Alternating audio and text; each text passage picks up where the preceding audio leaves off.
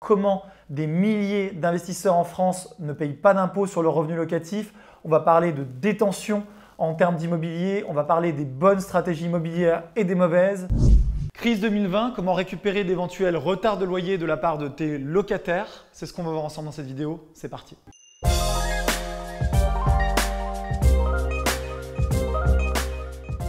Salut à toi très cher entrepreneur immobilier, je m'appelle Manuel Ravier, je suis investisseur immobilier, bailleur propriétaire d'une soixantaine de lots et je suis également cofondateur de la société Investissement Locatif, une société que tu connais peut-être déjà et qui t'aide eh à investir dans l'immobilier rentable dans une quinzaine de grandes villes en France. Concrètement, comment se passe eh l'accompagnement investissement locatif? C'est la question que souvent on me pose sur YouTube ou sur d'autres supports dans les réseaux sociaux.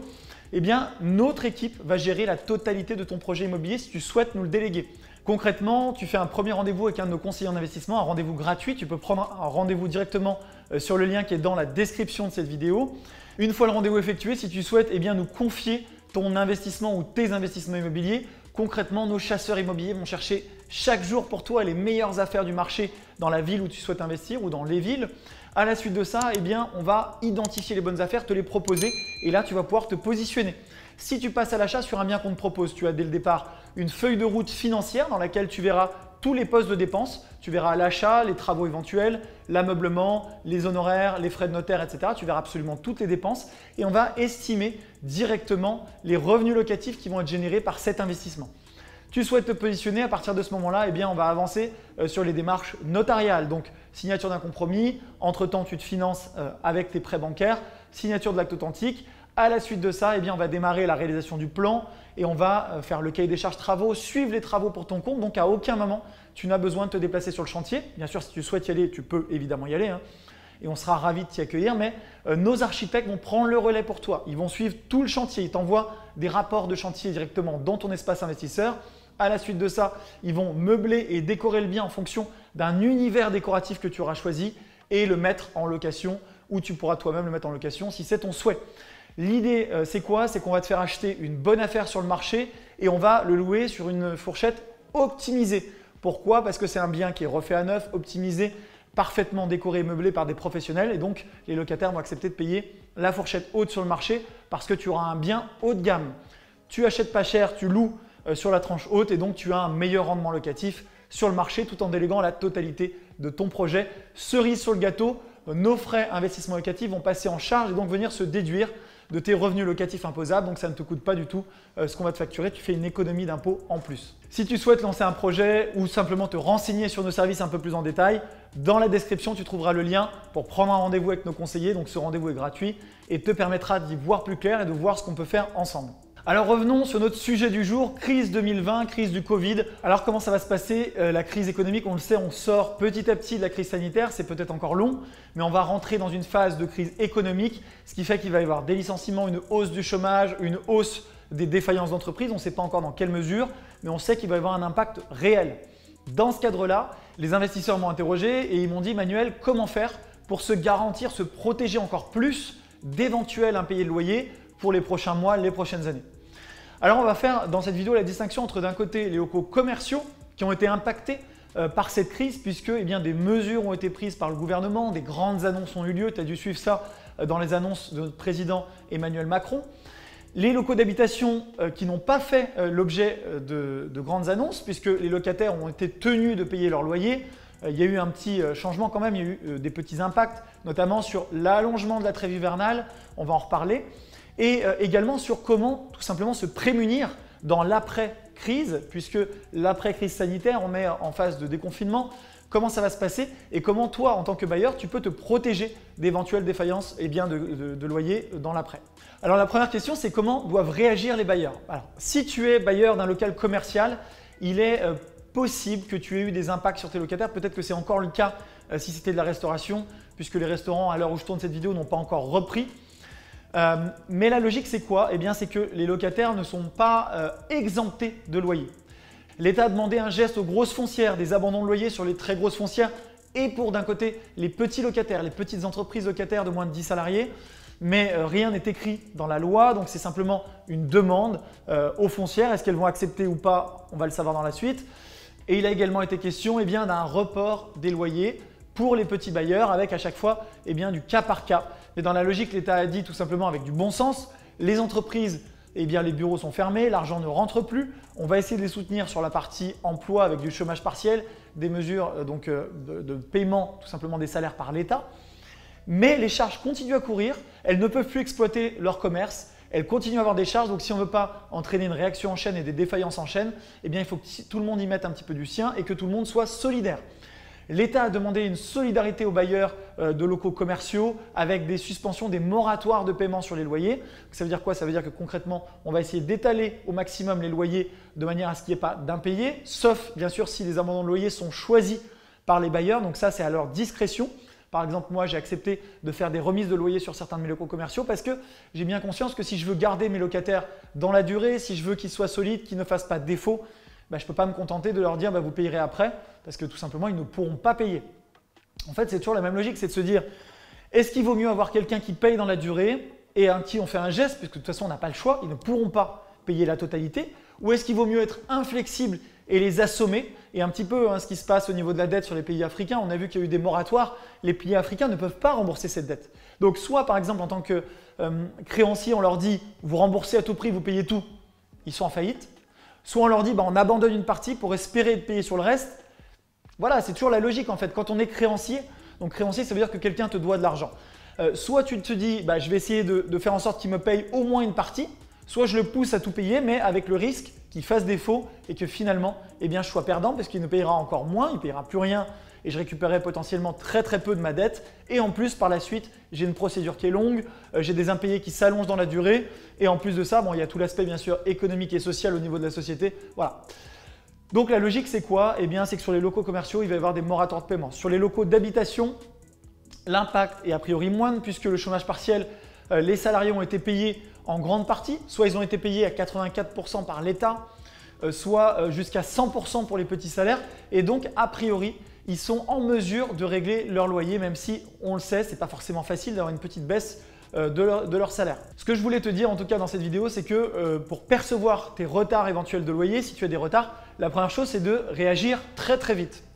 On le sait, quand la dette commence à se constituer, quand on a des impayés qui surviennent, il faut réagir très très rapidement, avec beaucoup de rapidité. Pourquoi? Parce que plus tu laisses dériver une dette, plus la dette grossit et plus tu as de chances que le locataire ne soit plus en mesure de la payer. Je te prends l'exemple, un locataire tête en l'air, mettons qu'il soit de bonne foi, oublie de payer son loyer. Il oublie de payer son loyer, donc voilà, il va dépenser l'argent, il va vivre avec l'argent qu'il a sur son compte. Si tu te rends compte au bout de six mois, alors six mois, on peut se dire, est-ce qu'il est de bonne foi? Bien sûr que non simplement, il s'est dit, bah, pas vu, pas pris, on ne me le réclame pas, j'ai oublié un mois, deux mois, et finalement, et c'est ce qu'on voit, hein, c'est ce qu'on constate dans les impayés, personne ne me dit rien, bah, c'est un petit peu le, euh, le, cercle vicieux et le locataire va se dire je ne paye pas. Et donc à partir du moment où on lui dit bah, écoute, tu nous dois six mois de loyer, malheureusement la dette est devenue trop importante et il n'a plus euh, les moyens finalement de la rembourser parce que les gens, on le sait, ne sont pas forcément tous très responsables dans la gestion de leur argent et ils ont tendance à vivre avec l'argent qu'ils ont sur le compte, tout simplement. Si dès le départ, tu as un retard de, paiement, tu es sur le coup, tu contactes ton locataire, tu dis attention, tu as un retard, comment on fait, qu'est-ce qui se passe et tu ne lâches rien, on le sait dans ce cas-là, eh bien souvent tu vas pouvoir régler le problème. Sauf si bien sûr euh, il y a un accident de la vie qui est tel ou si tu es avec quelqu'un de mauvaise foi, mais sans parler de ces cas-là. Dans ces cas-là, si tu as des gens qui sont en difficulté financière, ce qui compte, c'est de trouver des solutions au maximum pour faire des moratoires de paiement. Et surtout, écris les choses. qu'on dit souvent, c'est les paroles s'envolent, les écrits restent. Si tu acceptes de faire un moratoire de paiement, il faut que tu le limites dans le temps. Par exemple, c'est le cas sur un des biens de ma compagne. Ma compagne avait un locataire étudiant étranger, donc les cours ont été annulés. Elle a accepté de faire une remise de loyer pendant trois mois. Cette remise de loyer-là, c'est hyper important de faire un écrit et de la limiter dans le temps.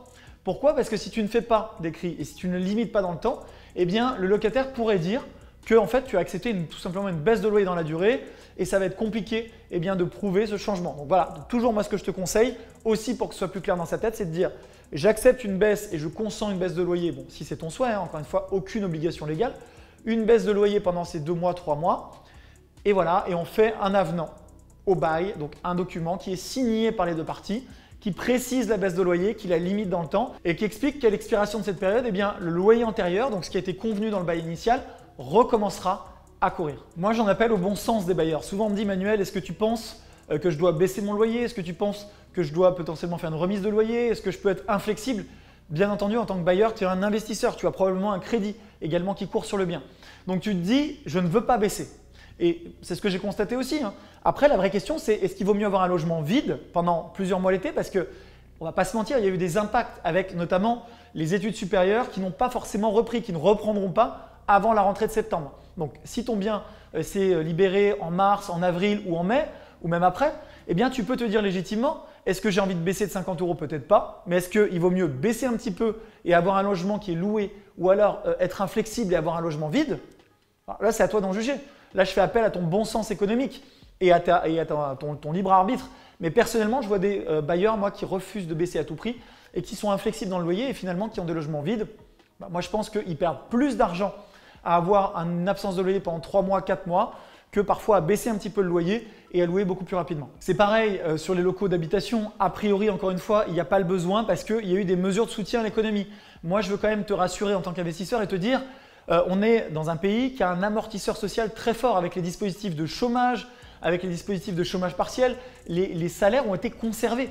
C'est-à-dire que la dette de l'État a explosé, ça c'est une réalité, mais elle a explosé parce que de l'argent a été injecté pour que l'économie puisse tenir. Donc comme l'économie tient, comme les gens sont payés, ils n'ont aucune raison de, euh, de, se soustraire au paiement du loyer. Donc là-dessus, il faut être quand même assez lucide.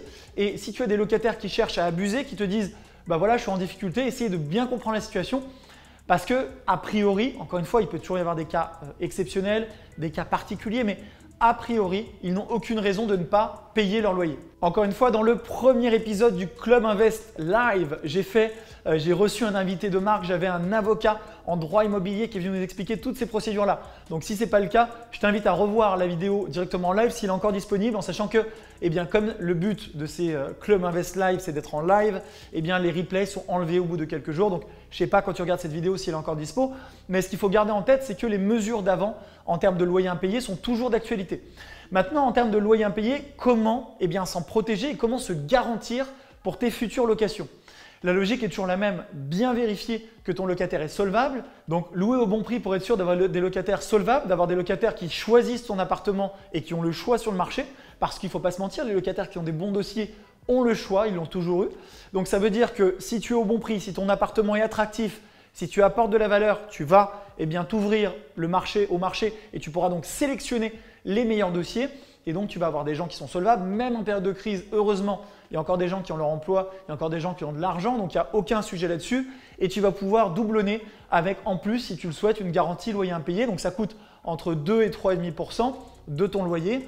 Mais ça va te permettre, en cas d'impayé, que la procédure soit prise en charge directement par cette garantie loyer impayé, cette assurance, et que donc tu sois payé dès le premier mois, selon les contrats, selon les petites clauses qui sont dans la garantie loyer impayé, donc tu pourras regarder ça, mais d'être garanti, d'être protégé et surtout euh, de te sortir de la tête une éventuelle procédure de loyer impayé qui peut être coûteuse en frais euh, d'avocat et qui peut être assez longue. En cas d'abandon d'une partie des loyers sur tes euh, revenus locaux commerciaux, sache que tu vas pouvoir les déduire donc de tes revenus imposables, de tes revenus locatifs imposables. C'est-à-dire que tu avais un revenu locatif de 10 000 euros par an sur ton local commercial, finalement tu as fait un abandon de 1 000 euros, tu ne seras imposé que sur la réalité et donc que sur les 9 000 euros. Ça te semble peut-être évident, mais ça ne l'était pas avant la crise. Avant la crise, si tu faisais une remise, eh bien, il fallait le justifier auprès de l'État. Là, l'État comprend que euh, donc, des remises vont peut-être être nécessaires et donc ne va pas t'imposer sur les 1000 euros de remise dans le cas euh, donc, que j'ai pris en exemple. Qu'est-ce qu'il faut retenir donc de tout ça? Il faut retenir que l'économie va être impactée, oui, il va y avoir une réalité économique. Si tu sélectionnes bien tes locataires, si tu prends des garanties de loyer impayés, et euh, si l'État joue son rôle au maximum, ce qui est le cas jusqu'à maintenant avec le chômage partiel et des dispositifs de réaccompagnement vers l'emploi, a priori, on devrait avoir quand même une limitation du risque de loyer impayé avec potentiellement euh, des défaillances plus élevées dans le parc social parce que par définition, eh bien, euh, dans le parc social, les gens seront plus impactés.